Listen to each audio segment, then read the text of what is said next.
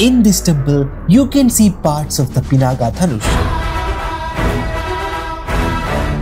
The divine bow broken by Bhagwan Rama during the Sita Swayamvara competition. The middle part of this giant 56 foot long bow is buried inside this temple. The history goes like this. King Janaka declared that he would marry his daughter goddess Sita to the one who could string Pinaga, the divine bow of God Shiva. Many princes tried but failed to even lift it. Then Bhagwan Rama gracefully approached the legendary bow. He effortlessly lifted and strung it, but due to its immense power, the bow broke with a thunderous crack. The middle part of the broken bow fell down at the exact spot where the temple stands. A fossilized fragment of the broken piece is still present here. धनुष का main टुकड़ा है ना ये वाला हिस्सा हुआ ये तो इनको क्या है? विष्णु पुराण के अनुसार इनको महर्षि दधीची, नैनी सारंग, शंकर भगवान ने दधीची मुनि की हड्डिया से पिनाक धनुष बनाए थे।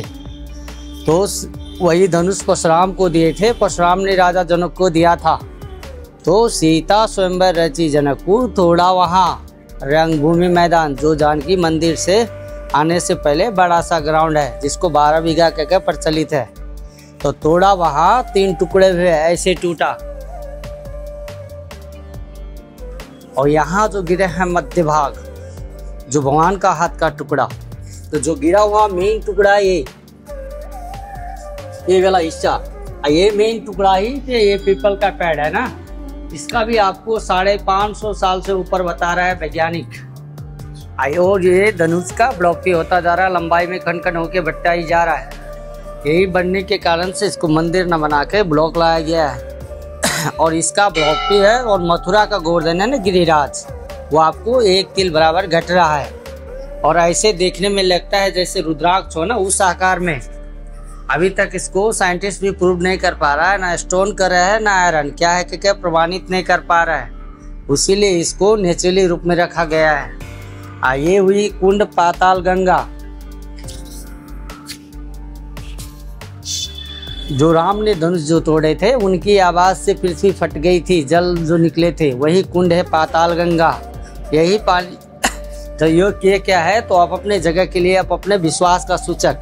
इसी पानी के लेवल से इंडिकेट करता है कि इस समय समय कैसी है फ़सल कैसी है वर्षायाम कैसी इसी पानी के लेवल से। जितना भरा रहा उतना अच्छा जितना तलेगे उतना शुभ। और सूखने पे कोई न कोई संकट आ जाते हैं। जैसे एक बार सूखा तो, तो हमारे नेपाल में रॉयल फैमिली डेथ हुआ था। और दूसरा बार सूखा था तो नेपाल में भूकंप आया था। और तीसरा बार भी सूखा था, दो चार महीने पहले भी सूखा था। उस समय आपको जन जन क्षति हुई थी, पूरा सूखा खड़ेरी पड़ गया था, हाहाकार मच गई थी।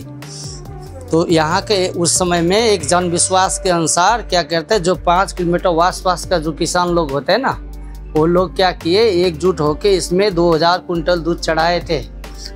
जैसे जैसे दूध बढ़ा था उसी समय मौसम भी सही हुई वर्षा भी हुई थी This temple is a popular pilgrimage destination for Hindus worldwide, especially during the Vivaha Panchami festival, which celebrates the wedding of God Rama and Goddess Sita. It is situated 18 km northeast of Janakpur Dham in Nepal. Jai Sri Ram.